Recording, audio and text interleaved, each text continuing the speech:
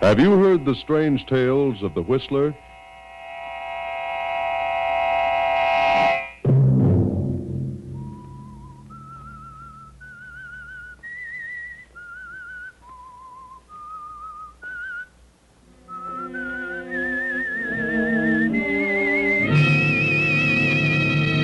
I'm the Whistler.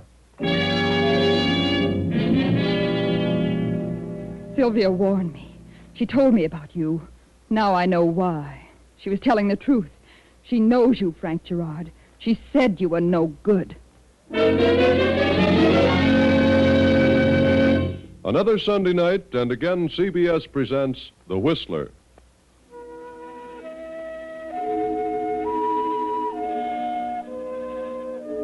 I, the Whistler, know many things, for I walk by night. I know many strange tales, many secrets hidden in the hearts of men and women who have stepped into the shadows. And so I tell you tonight the unusual story of the confession. The courthouse walls of a county in an eastern state have echoed for many years the vibrant, persuasive voice of William Marshall. Marshall has defended countless numbers of persons, great and small, who'd become entangled in the meshes of the law, and he has never lost a case. The great criminal lawyer attributes his success to the fact that he has never taken a case in which he was not convinced that the defendant was either innocent or the victim of unfortunate circumstances. At the moment, in the anteroom of Marshall's office, a beautiful young girl and a handsome man of 30 wait for an audience with the attorney. After some 15 minutes of waiting, the girl speaks to the handsome man. Uh, pardon me, but are you in a terrible hurry to see Mr. Marshall? Why, no. No, that is, my business can wait a few moments. Well, I'd appreciate it so much if I could see him first. I'll only be a few minutes. I, I just got off the train and I've got to see him. I see. Is it really as bad as all that? What? You sound as though you're in terrible trouble. Oh, I am. I, I really am. Oh, that's too bad. How did it happen? How did what happen? How'd you get into such trouble? I just. Well, I've spent all my money. I'm broke. Oh, is that your trouble? Yes. What did you think? Oh, I thought maybe you'd murdered your husband. Oh, no, I haven't a husband. I've never been married. No. Well, uh, my name is Frank Gerard. Yes. My name is Jean Marshall. William Marshall is my father. I've been away at school for a year, and you know what can happen to a girl's finances in a year. So I've either got to borrow some money from father or borrow his car to get home. Well, I'll tell you what I'll do if you care to wait a few minutes. That is, after I get to see your father, I'll take you right to your door. Well, I, I suppose it's all right. Are you a client of father's, Mr. I Gerard? certainly hope to be. He's a busy man, but I hope he can find time to handle my business. All right. I live in Mission Hills. That's not far. I have nothing to do. I'd love to accommodate you. Then I won't be with father over one minute. Your father will be right out, Miss Marshall. Jean, darling, I'm very glad you're home. But what are you doing at the office? I'm broke, father. All right, here you are. money, money, money. Sorry, darling. I wish I could talk to you a while now, but I've got to be in court in 20 minutes. See you at dinner. Uh, this gentleman is waiting to see you, Mr. Gerard. Oh, I see. Gerard? Uh, well, come in, Mr. Gerard. See you at dinner, Jean. Yes, father. Bye. Come along, Gerard. Gerard, Gerard. Hmm. Sit down. Seems to me I've seen you before, Gerard. Have you, Mr. Marshall? Where? Gerard, Gerard. Wait a minute. I know now. You're Frank Gerard. That's right. Frank Gerard. What do you want? I want you to handle a case for me. What sort of a case? A murder case. Murder? Who did you kill, Gerard? Now, wait a minute. First, I want to know if you're going to handle the case. That depends. Who did you kill and what were the circumstances? And remember, I want the truth. I've got to know everything. All right. I killed Joe Barkowitz. Joe Barkovitz. So, that's what happened to Joe. Yeah. And the police are hot on the trail. And sooner than you imagine, they're going to trace it to me. In fact, they're on my trail now. The evidence is going to be so strong against me because we were enemies that, well, I'm going to have a tough job convincing a jury. Convincing them of what? That I shot Joe Barkowitz in self-defense. Self-defense. You shot him in self-defense? Certainly, I'm not a killer. Self-defense. Do you expect me to believe that? Why shouldn't you? Gerard, I know all about you. You belong on the shady side of this city. You've pulled several things that have not been traced to you. You've gotten away with them. But I think you're very bad material. Joe Barkowitz was bad material. Too bad you didn't kill each other at the same time. Is that the way you feel about it? I do. And if Joe Barkowitz came to me with the same story, I'd tell him the same thing. It wasn't in self-defense. Yeah? I've got a witness. Oh, Mickey Gifford was with me. He saw Joe pull a gun on me. Mickey Gifford. Oh, oh, why, I wouldn't trust him across the street. He was Joe Barkowitz's right-hand man until you came along. He turned state's evidence so fast it'd make you dizzy. You really think that, eh? Certainly. I wouldn't touch your case. Why not? Because I think you deliberately murdered Joe Barkowitz. And I've never yet defended a person unless I was convinced he was innocent of malice aforethought. So you don't think I killed Joe in self-defense? No. I know you. I know all about you. Okay, Marshall, I'll find somebody else. Then find them. I'm not interested. You're making a big mistake, Marshall. A big mistake. I'm a busy man, Gerard. Good day. Okay, Marshall. Okay. Oh, Miss Marshall, I uh, I was longer than I thought it'd be. eh? That's all right, Mr. Gerard. Where where did you say you lived? Oh yes, yes, Mission Hills. Are you ready now? I certainly am. I've got some bags up downstairs. Can you handle them? I'd be delighted, Miss Marshall. Come along. This is awfully sweet of you. How can I thank you? Oh, you don't have to thank me, Miss Marshall. It's a pleasure, a great pleasure.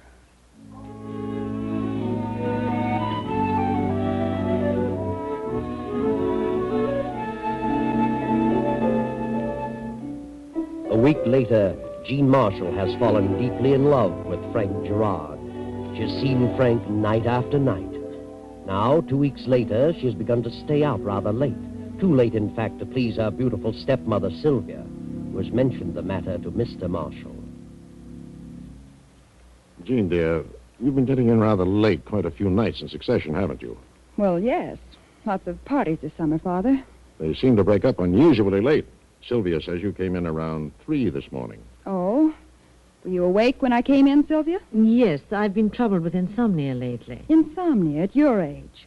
Well, you should do something about that, Sylvia. Who escorts you to these parties, Jean? Why do you always leave here alone? Oh, that's the way everyone's doing these days. Why? Gas rationing. The girl meets her escort halfway, parks her car, and continues on in his. I see. Well, I'd prefer that you try to get in a little earlier. I didn't know you were staying out so late until Sylvia told me. Is that why Sylvia has insomnia? Yes, Jean. You never say where you're going or who you're going with. It naturally worries me. Where were you last night? Why, I, I went to a party given by Jack Hyatt.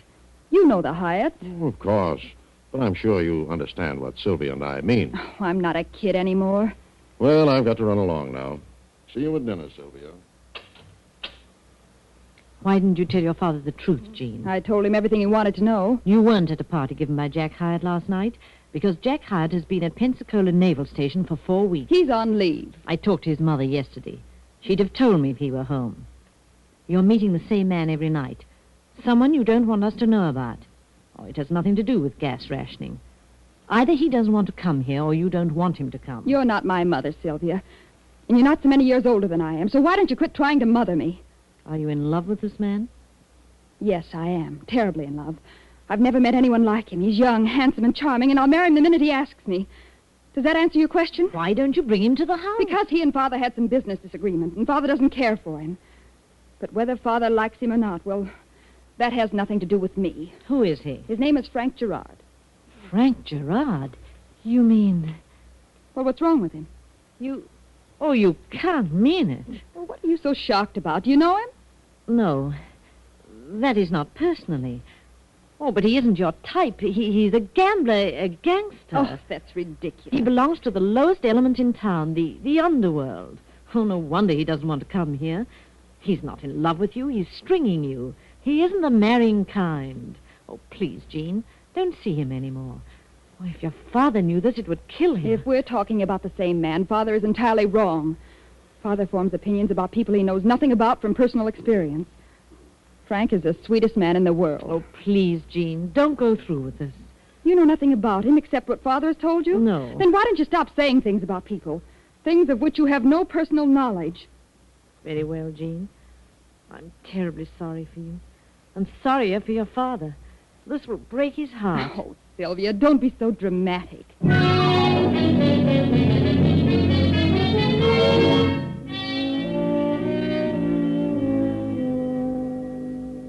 Now several more days have passed, and Jean continues to see Frank Gerard, but never brings him to the house. Sylvia has said nothing about Jean's infatuation to the father for fear of the consequences. Then one day, Frank Gerard has an unexpected visitor at his apartment. Well, hello, Frank. Annette. Well, come in. Haven't seen you around for quite a while. No, I, uh, I've been awfully busy lately. Yeah? What's been keeping you so busy? Oh, one thing and another. I haven't heard from you in over two weeks. Lose my phone number? No. Why don't you use it? I told you I've been busy. I've been out of town a good deal. I subscribe to the grapevine. You ought to know that I can find out everything I want to. Yeah? Frank, you're making one terrific mistake if you think I'm the kind of a gal who can be kicked into the corner like an old shoe whenever you take a notion. Who's kicking you around? What else would you call it? Now, look, you haven't anything to squawk about, Annette. You've had all the breaks for a couple of years. So, just like that, you decide you've seen me around a little too long. Now, your imagination's running wild. You're just working yourself up into a dither. You said it. And Frank, when I really get worked up, you'll see a dither that is a dither. You needn't get any louder. I've overlooked an incident or two before because they were mere flashes in the pan. But believe me, this time it's different. You've been listening to a lot of bunk. I know where you've been and what you've been doing since the last time I saw you. So what? I'm a woman, Frank. Oh, I'm not from Vassar or Park Avenue. But when it comes to feelings and emotions, I'm just like any other woman. I don't care who she is. Waited and waited for that moment when we could be married. Married. No other woman will ever love you as I have. You belong to me, Frank. This Marshall girl has no right, no right whatever, do you hear? That's not for you to decide. Oh, you don't love her. You've suddenly gone high hat. You'll only make a sap of yourself. You're just a natural born troublemaker, Annette. Troublemaker. Yes. You had any ideas about marriage, you concocted them yourself. I never mentioned the subject. I could kill you, What did you say, Annette? Frank Gerard. If you marry this Marshall girl, if you even see her again, I'll kill you. Kill me. Yes, I think you're bluffing, Annette Laverne. I'll show you. I intend to see Jean Marshall many, many times. And if I should decide to marry her, I will. So long, Frank. I'll be seeing you. Yeah. You better change your face before you get outside. You might scare somebody.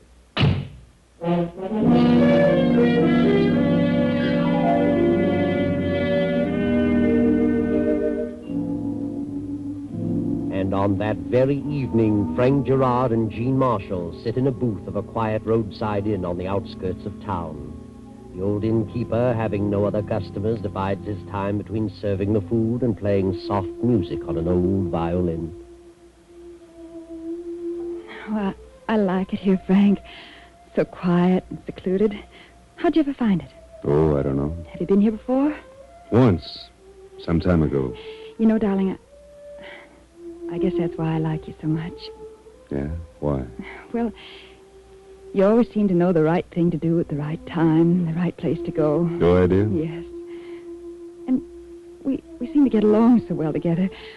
We talk about so many things. We understand each other. Yes.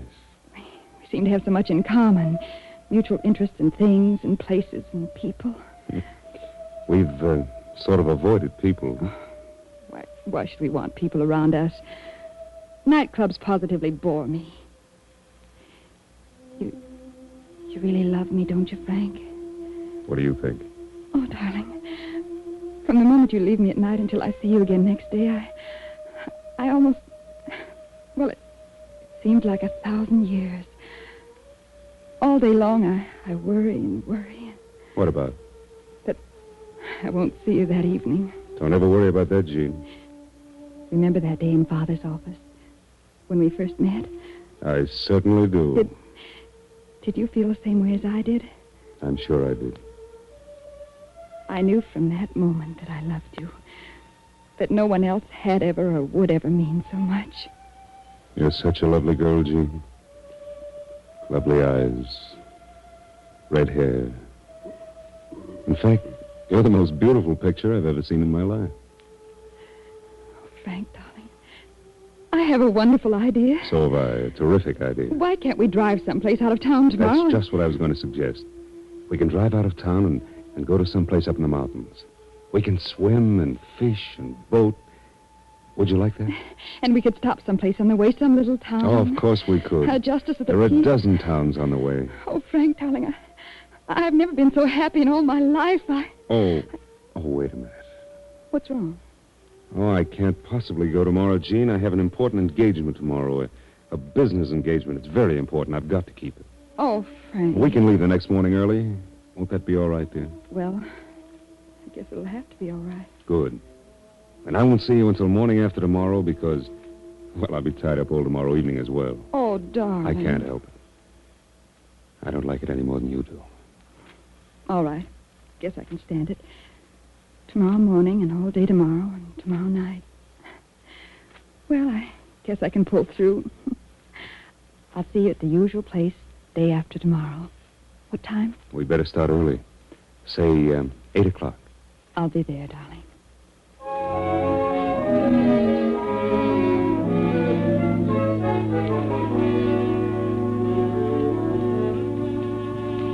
The next afternoon, Jean is in her room packing a few outing things.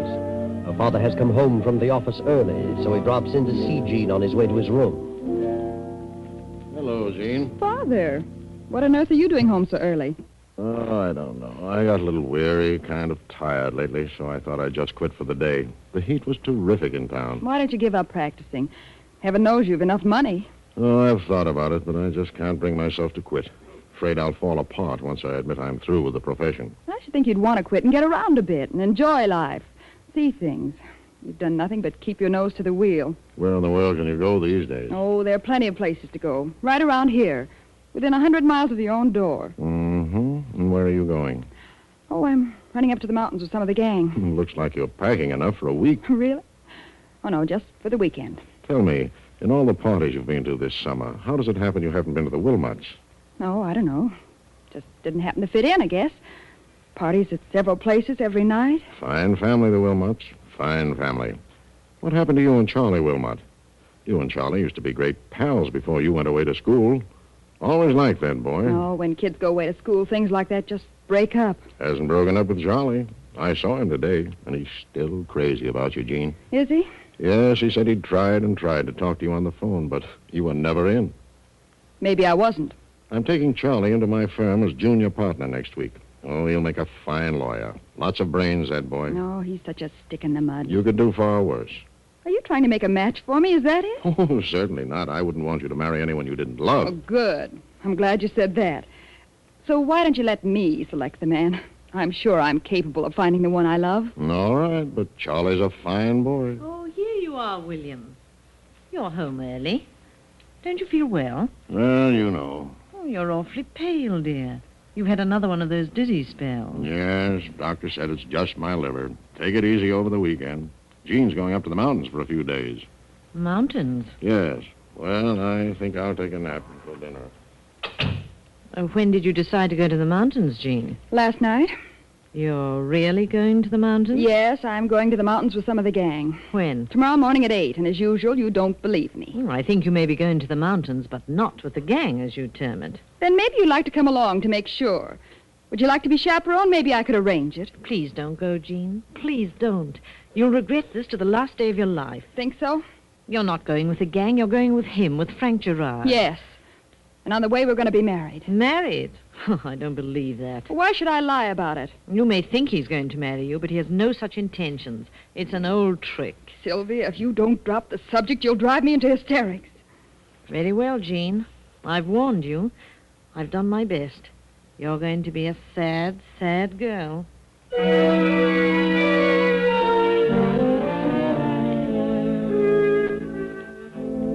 The afternoon passes and evening comes. Frank Gerard in his apartment lolls and considers the past and the future. Then, as he prepares a drink, there is a soft knock at his door. Good evening. Good evening, Mr. Gerard. Well, please come in. What can I do for you, Mrs. Marshall? I want to talk to you. Yes? Well, make yourself comfortable. Oh, what a beautiful gown, Mrs. Marshall. Thank you. I haven't seen you for some time. How long has it been? It's been four years, Mr. Gerard. We met last in a nightclub with a group of mutual friends. Oh, yes. Yes, indeed. You were captivating that evening, and may I say you're most charming tonight? What a line. I've often wondered if I'd ever see you again, Have you? Well, here I am. and I'm flattered. Highly flattered. And just as conceited as ever. Very happy you're here. You won't be when you hear why I came. No? Oh, how disappointing. I, I was sure you came just to see me. Me alone. I did come to see you alone. Are you alone? Of course. You're perfectly safe here, Mrs. Marshall. Mrs. Marshall. The Mrs. Marshall of the Blue Book. Sylvia de Levante. Remember the Club National in Detroit? The Folie Nationale, starring Sylvia de Levante, direct from London. I can see it now. So can I. What of it? Um, does your husband know all about that? He does. I doubt it. Maybe he'd be interested to know, huh? I don't scare, Mr. Gerard. And why are you on the defensive? Maybe you know why I'm here. Oh, now, please, please, don't disappoint me. I came here to appeal to your decency, if you have any. Well, Jean Marshall is a fine girl. I want you to leave her alone. I beg your pardon? Her father is the finest man who ever lived. He worships her. Jean is under the impression that you intend to marry her. I know better. If Jean got mixed up with you, it, it would kill her father. Did Jean tell you we were going to be married? Yes, and you've led her to believe that. But you know you've no such intentions, and you're going to the mountains with her in the morning. That's right. But not to get married. Mrs. Marshall, if you were to run along home now and forget all about this and tend to your own business, I might see to it that your husband never knows all about you that might be told. You don't like Jean's father, and he doesn't like you. Why would you want to marry a girl under those conditions? That is none of your business. Maybe I'll make it my business. You do, and I'll guarantee you'll regret it. You'd better run along now. Then you won't listen to me. My appeals to your sense of decency mean nothing. Now, look, I've had. You better get out of here. Go out through the back way and through the other hall. Very well, but please consider what I say. Yes, yes, I'll consider. Go on. Just a moment. Darling, I had to see you. Why, Jean. I just couldn't stand to be away from you so long. I didn't expect to see you this evening. I knew you said you were going to be busy tonight, but I'll just stay a moment. Oh, Frank, darling, it's been a million years this day. Yes, dear, I missed you terribly, but, well, I didn't expect you, and uh, I just want to see you for a second, that's all. Are we driving tomorrow or taking the train? we can drive if you like. It's not far. I can take my car. I love to drive the top down, and yours isn't convertible. All right, we'll take your car. All right. I'll go now. Night, darling. Tomorrow's going to be the most wonderful day of my life. But I've said that before so many times. Good night, dear. Frank, dearest, where are my slippers? What? Who is that, Frank? I haven't the slightest idea. I... Frank, darling, what on earth has become of my... Sylvia, Why, Jean! what are you doing here in those pajamas? How'd you get into that bedroom? What are you doing in my pajamas? Why, I... So you I- didn't know Frank Gerard, never met him. No wonder you tried to talk me Now, out of Jean, marrying listen him. to me. And you had a business appointment. Eh. So this is your appointment. This is why you couldn't leave this morning. Jean, she just came here a minute or so ago. You I didn't, didn't know. expect me. I thought you were terribly startled when I walked in. I see it all now. Jean, will you wait? Sylvia warned me. She told me you were no good. Now I know why. She was telling the truth. Sylvia knows you. You despicable rat. Well, Mr. Gerard, maybe that will take the wind out of your sails. I'll just slip into that bedroom? I'll change now, if you don't mind. You think you're very clever, don't you? Well, how'd you like it if I picked up this phone and asked a friend of mine down the hall to step in here? Find you in this condition. What? Well, you wouldn't do that. That would be wonderful, wouldn't it? Famous attorney's wife found in Frank Gerard's apartment in pajamas. How'd you like that? Wait, don't do that. It won't take a second. Please don't, please, I'll go. You'll keep your mouth shut from now on? Yes, yes, I promise. If I hear one peep out of you, I'll really make trouble.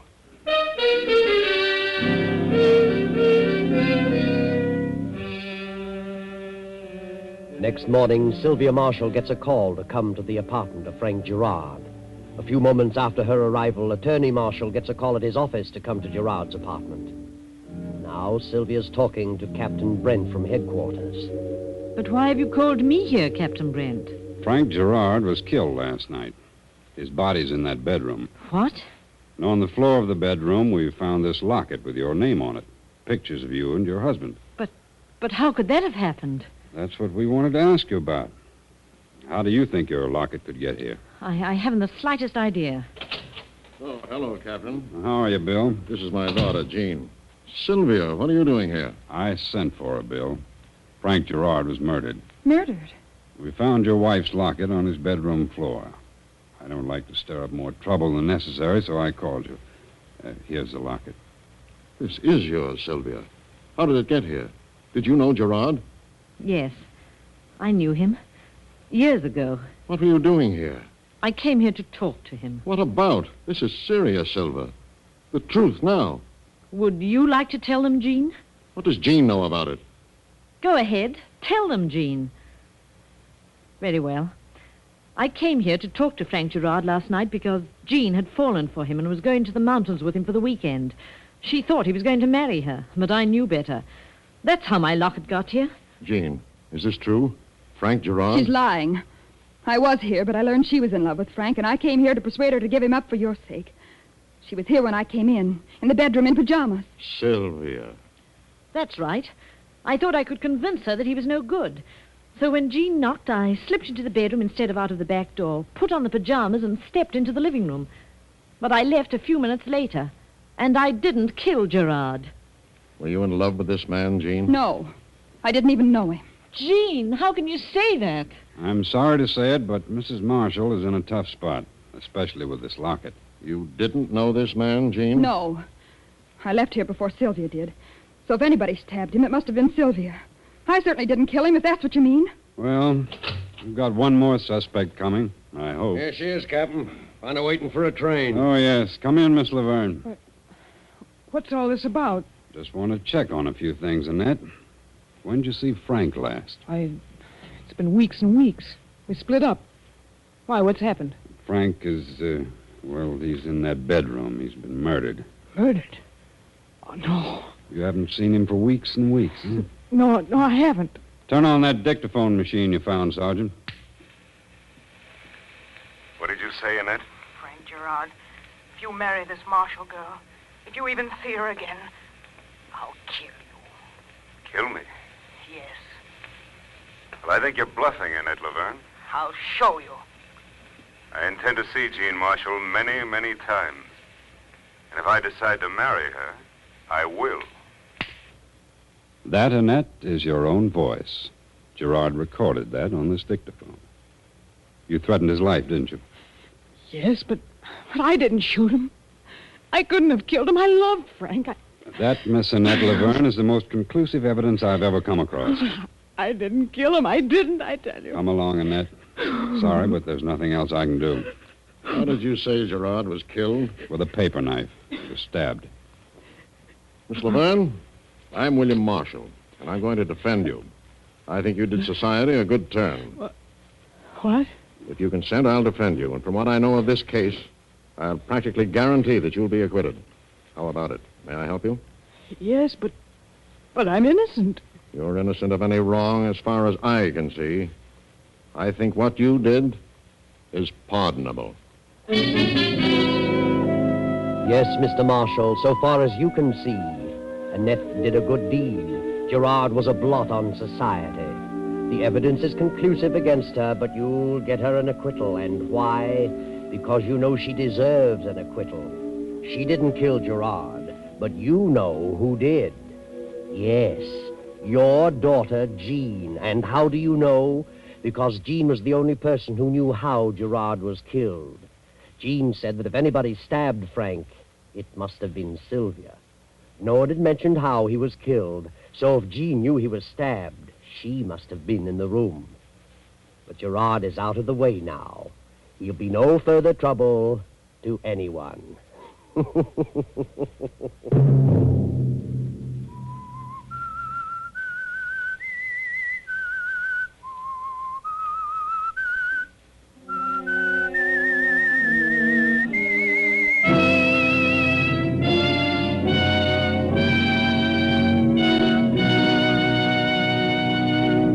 CBS has presented The Whistler.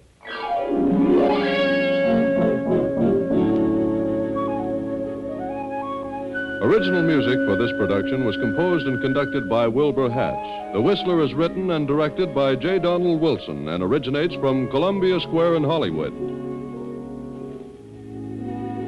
Next week, same time, I, the Whistler, will return to tell you another unusual tale. Good night.